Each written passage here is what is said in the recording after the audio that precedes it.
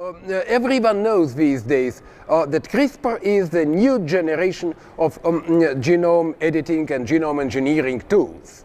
Um, uh, what I think is somewhat less appreciated is uh, that this is a major, highly original uh, biological phenomenon. To wit, uh, the CRISPR-Cas systems in their function, in their mechanism, embody or um, uh, a route of evolution that was not even seriously considered until the CRISPR mechanism has been discovered, namely what may be called Lamarckian adaptive evolution. Indeed, um, the CRISPR-Cas systems grab a piece, um, react to an environmental cue, uh, namely grab a piece of alien DNA, assimilate it in the host genome, and employ it to react to that same cue, to defend the microbial cell mm, against the same selfish element. All the ingredients of Lamarckian evolution are right mm, uh, there.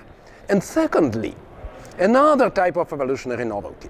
Um, that is sort of a love-hate relation, evolutionary relationship between um, mm, immune systems and selfish genetic elements. Uh, in the evolution, uh, the CRISPR-Cas systems recruit parts of um, mm, selfish elements to create new variants of the defense system and vice versa.